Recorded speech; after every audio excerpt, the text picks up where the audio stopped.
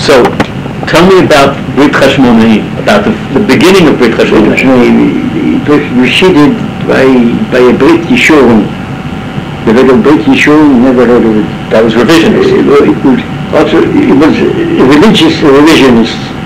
And the young kids also were religious children, but we used to go to the Beitar, but we were not too happy in Beitar because it was, uh, was not, uh, not religious. When you, what year are we talking about? How old were you? Uh, about 15, 16. And when were you born? That way I can know what year we're talking about. When you say we used to go to Beitar, who was we? We, uh, but then we, then came up something that there should be a sort of a religious Beitar.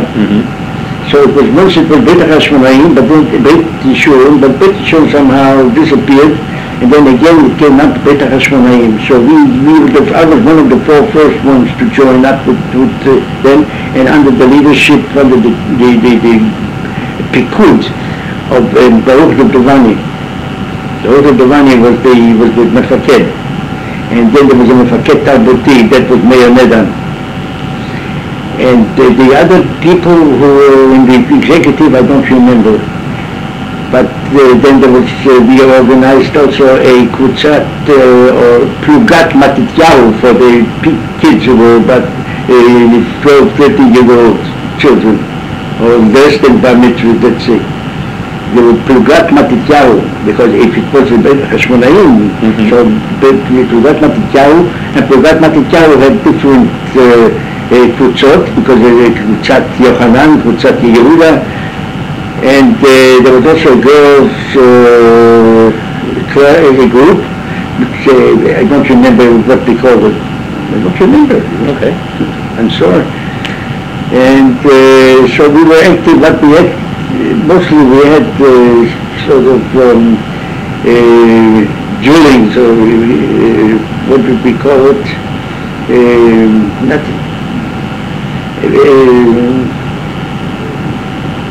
uh, I can't remember. Uh, Inspections? What? Inspections? No, uh, it, it, uh, uh, ex- like military exercises. Uh, uh, uh, um, שמאל ימין, שמאל ימין, מה, קדימה, uh, אחורה פני, uh, kind of, uh, I don't remember these things. drills, but they were sort of drill, drills.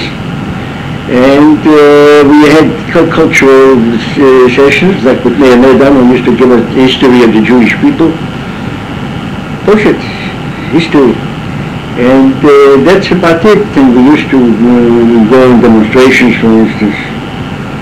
And there was a demonstration from time to time, so we were participated. Uh, I remember once I was in a demonstration on Rehov Mea Sharim in the area which is now called Kikar Shabbat. Right. So when I saw British police were coming, and people started to run, I, instead of running, I turned to, going towards, towards Geula, and I walked to the side, uh, and then a policeman was, got, I, I looked like this, what do you want from me? And, and I'm just a passerby. Right. So it was, he was going to hit me. Okay, and uh, this is all that I can remember about Beit HaShmonaim. Then somehow, I don't know what happened, but uh, uh, Duvdevani fell out with some of the others and then Moshe Segal took over.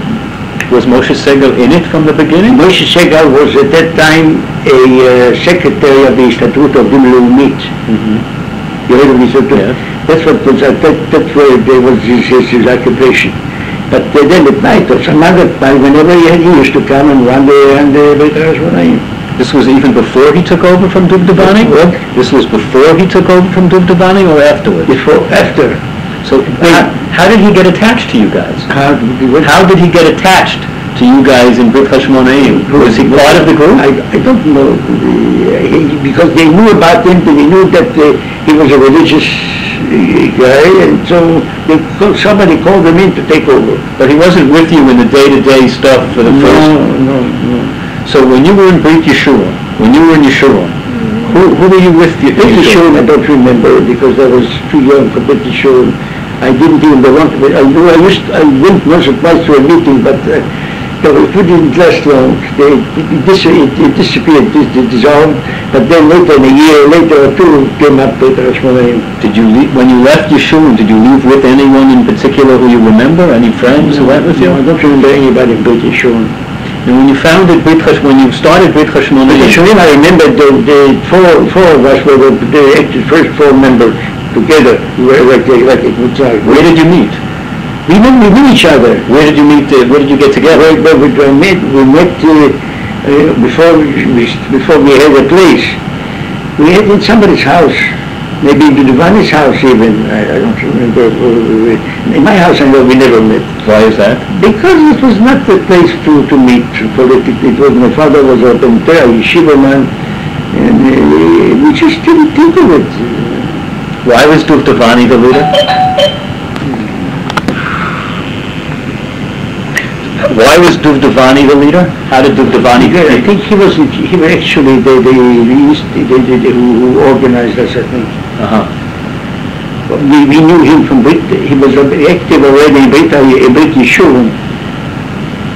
Mm, But then, uh, so I, I think he was the one that that we, when we were four of us, we had the same ideas, we, we, maybe we looked for a leader and we thought we should go to, to, to Giovanni. I don't remember the details, but I remember that after four of us came together, when, when the Giovanni led us to establish a, uh, a, uh, a Beit. Now, you were four people. How did four people grow to hundreds of people? once we had an organization, we talked, we talked to other, uh, each talked to our close friends, and we, we, we, we, we got involved a few more. Instance, I had, uh, in Batengan, I had uh, friends, others than the, these, the other three were not from Batengan. Mhm. One of them was from Mea Sharim, one of them from Bet Israel. Mhm. So each one brought two, three of his friends that, uh, and how did we, the four, get together? Because, uh, why did we, how did we get together? I don't, I don't remember, but we were, four of us were, were friends, and, uh, maybe we used to meet in Beitar or something, I, I don't remember how it is. Anyway, we, each one of us, well, I got, from Batunga, I got two, three more. And then one in Menachem Anita, he got three, four from Mea Sharim, and then, so each one we meet, we became a group of about 10, 12. Uh, 10, 12, and we paid the Jews, and uh, and he got the money, what's his name, the money from somewhere, we, we rented a place in, in, uh, in Shmot Bukharim. Mhm. We rented a place, and then we rented a better place, uh, Chod Mea Sharim, it was some basement, big basement apartment, there was a big hall, uh, a big basement. Yeah. So that's where we were. We established it also as a Beit Knesset, mind you. Really? Yes. So when did you, you used to go there to daven? Shabbos, we used to go to daven there. Yeah. Men Not during the week, but on Shabbos we used to daven there. you had men and women? You had a mechitza for women or just There there were girls, the girls didn't come so much to the davening, the- because the girls were not of our age. The girls were 10, 12 year olds. Uh, The, the, the boys were for, for 15, 16.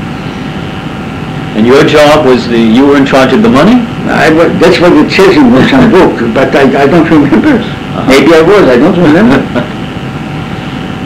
They are not called Prager, they're Prague. Right, right, I saw that. Maybe you know about that, such a book? Yes, You, uh, did you see my name in it? yes. You did see Shmuel Prague there. It says, that, that's how you know, that's how you know about the, tre- that I was supposed to be the treasurer. Yes. Maybe I was, I don't remember. So when you, you, and, and what, you said you went to this rally in Mea Sharim. Say it again? You said you went to the demonstration in Mea Sharim. Chod Miyashavim, once when there was some case where, where it was already 30, 36 or 37, where some, uh, some Arabs killed some, some, some Jews, and we demonstrated against the British for they allowing the Arabs to kill us. Did you, did, did you um, have any other political activities or political, Like what, for instance? did you take a stance when, for instance, Ben Yosef was hanged? When? Shlomo Ben Yosef was hanged, did you do That's right, anything? all, all that time I remember all I did was go to pray in the Shuat Yaakov synagogue. There were prayers offered for him Before he hanged, or before he died, that's right. That's all, I can remember.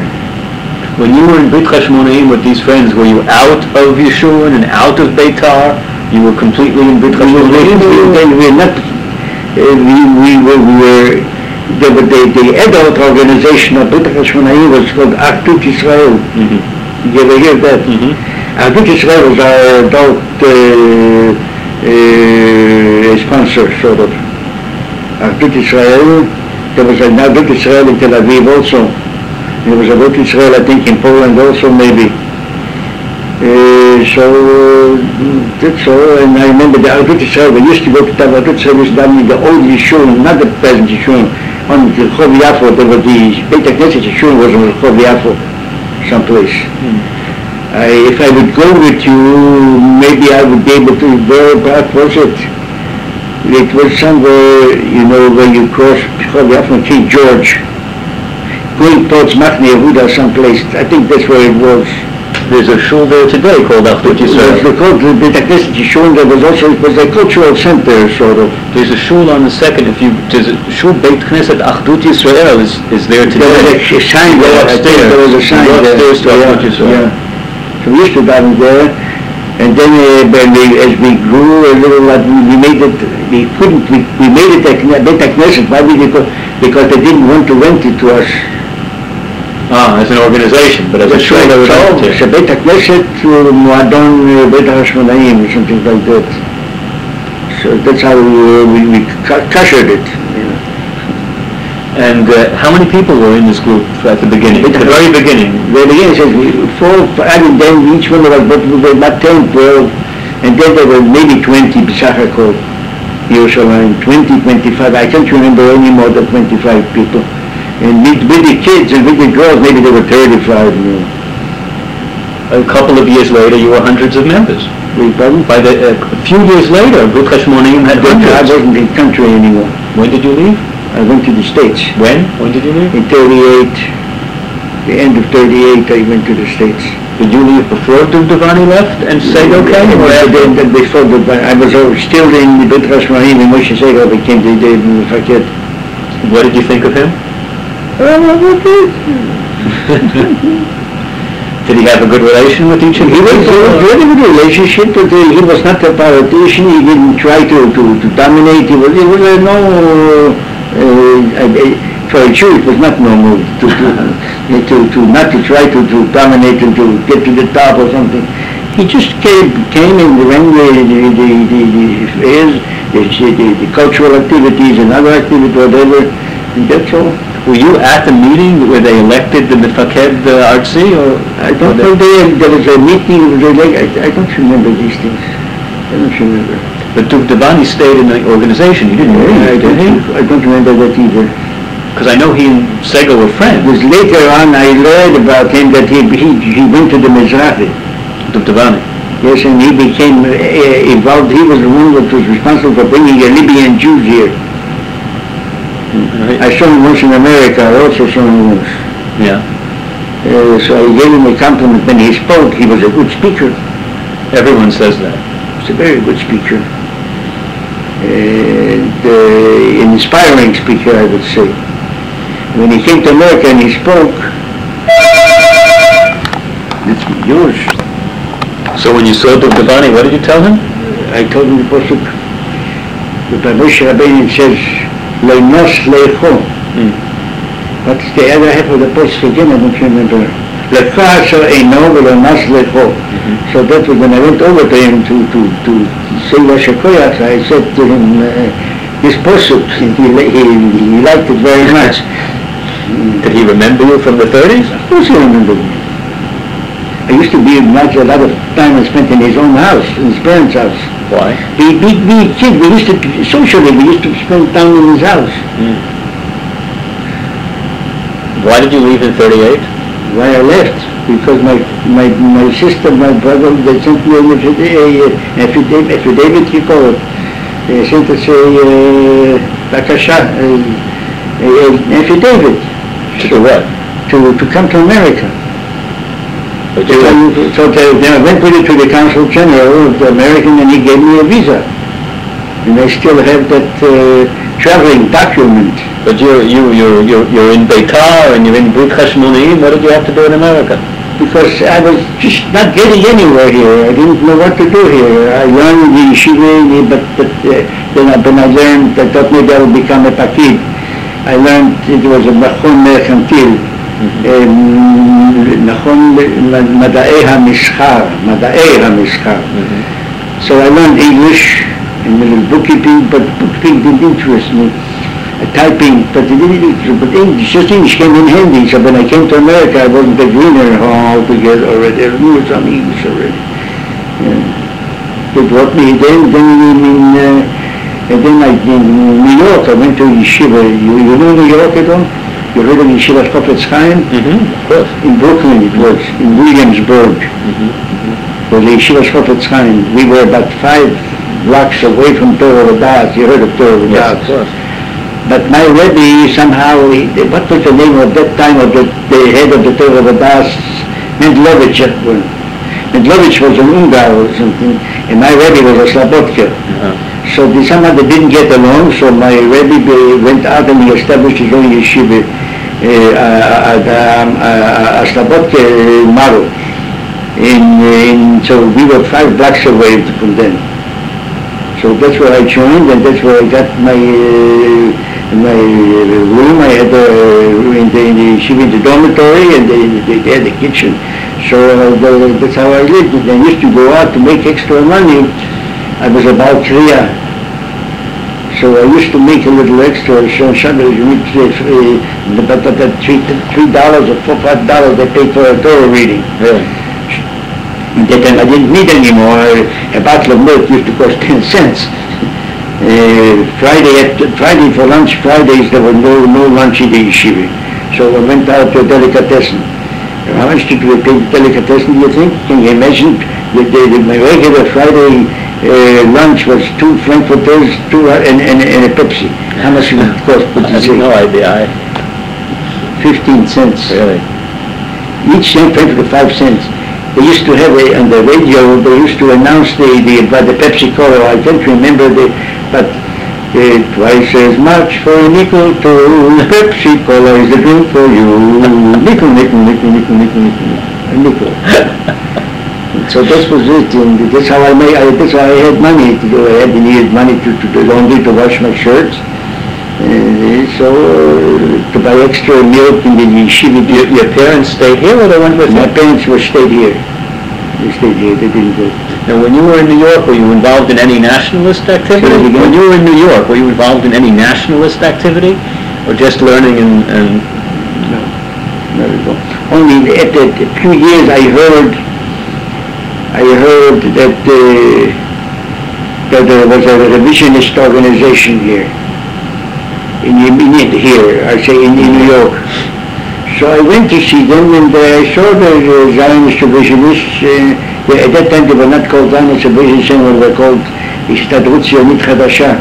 Because Jabotinsky broke with Right, them right. after, after they, they refused to announce that the aim of Zionism was State. Jewish state. Right. And so I used to go from time, they had a speaker, it was announced that, they, that somehow I found out when, so from time to time I used to go to, to, to get uh, the speeches there, to, to, to, to uh, associate with them, to, but uh, that's about it. That's about it. And then, of course, uh, I, I was not involved actively. You heard of the Peter Bergson, you heard Yes, of yes. in Shmuel Merlin. They had a committee to save the Jewish people of Europe. Right, were you in contact with them? I, did- I just, I wasn't in contact with them, but when they had a big meeting, I went. In like Madison Square Garden. You went to the Madison Square Garden one? Yes, and another time they had it in another place. I don't remember anymore. It goes back 60 years, I do remember it. And, uh, but I remember that when Jabotinsky came to America, I went to hear him, of course. And two times I heard him, that was the name of that, uh, of that hall. It was not the Madison Square Garden that spoke. Can't remember. Maybe Town Hall? Who? Town Hall? No, no, it was not Town Hall. It was somewhere in Manhattan, but I can't remember where. Anyway, with twice, three times I met, the third time, I heard him.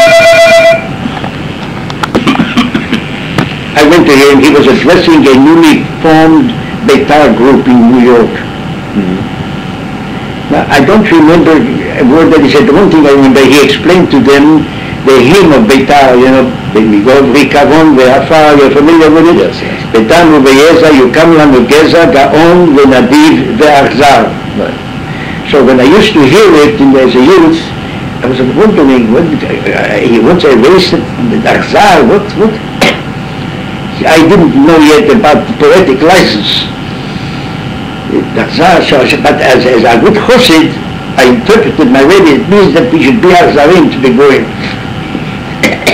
but then I heard him, and he said, proud, gentle, and fierce.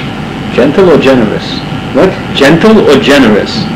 proud, gentle and fierce. That is the way I heard it מפיו של, ה- של, של, של אה, זאב Okay. ז'בוטינסקי, של הקודש זאב ויוינה ז'בוטינסקי.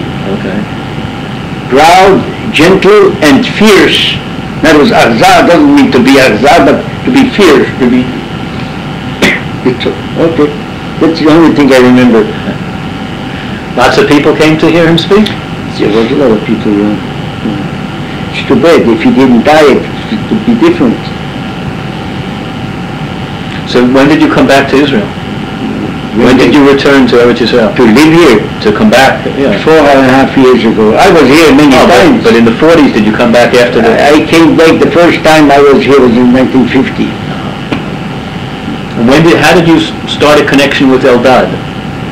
How I started a connection, because when I was there, I didn't, I was not, I was here not for, for four weeks, I was here for, for almost a year. I took a sabbatical. Mm-hmm. I had already a rabbinical job, mm-hmm. But then uh, was single and I said, "It's- let me go home for a little bit. So I came home, and my, I had a nephew in Tel Aviv who was uh, sympathetic to, the, he used to get the Sulam. So I started, when I read that, there- that there's going to be a lecture, with the- and uh, Israel Shaib is going to be the guest, so I was, I was very anxious to go to hear him. So I went and I heard him, never, there was a lecture by Eldad, uh, about, at that time there was not yet, Eldad was only in the underground. but you know, Dr. Israel Shaib, his Sulam papers are all, all, the first one says, is, oh, Dr. Shaib doesn't say Eldad, I still have them here. And, uh, you want to see some of what they look like? No, no, I, I have them at home. You have them at home, okay. So you remember still that it said it's Israel Shaib? Uh, so I got acquainted with him, and then I went back to America. I got myself a job, but my nephew used to send me the sulam. Ah. So he sent me the sulam, and it showed it's, it's, there was a, a, a, picture, a letter, a, a copy of a letter that Ben Gurion sent to him why he cannot allow him to be a teacher. Right, right, right. So I had Rahmanis on him. So when we, we collected for the Ma'ot Chitin, you know what the Ma'ot Chitin, from Erev Pesach. Right. So I sent him a, to- a, a script, they call it. I, with that script, you could go to this, they had stores here where they, they, they script were, were re- re- uh, redeemed. So I sent him about thirty-five dollars. At that time, uh, fifty years ago, thirty-five dollars was not the bad, bad uh, amount. So I sent it for Pesach. From Moise Chitim, I sent him to the, so he was very, thrilled, it seems, was very happy that, uh, so he answered me. And then next year I sent him again, so again he sent me a letter. But this Opkeit von Ben Gurion, not to give it a name like Scheibe, you, did you get a, did you get a chance to make me a copy of the speech you gave for Yair Stern? what are you going to do with the copy? I can give it to you personally. Yes, okay, all right. Because I'm just toying with the idea, you see, I have it here already. To to write another book, Oh, you see? what's, what's this one all about? What? What is this one about? This, there are different things, different things. It's, uh, see.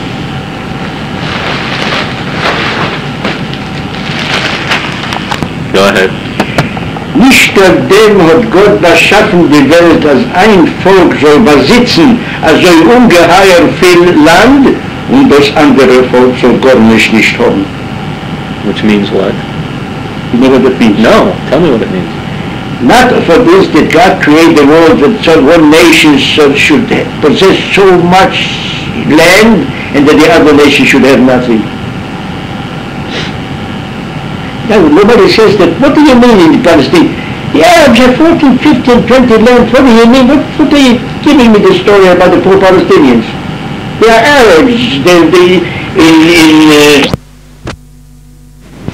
The quote in Yiddish was something that Rabbi Prager remembered listening to Jabotinsky, a tape by Jabotinsky or a record by Jabotinsky from the 1930s, and uh, that was his rendition, sounding rather like Jabotinsky.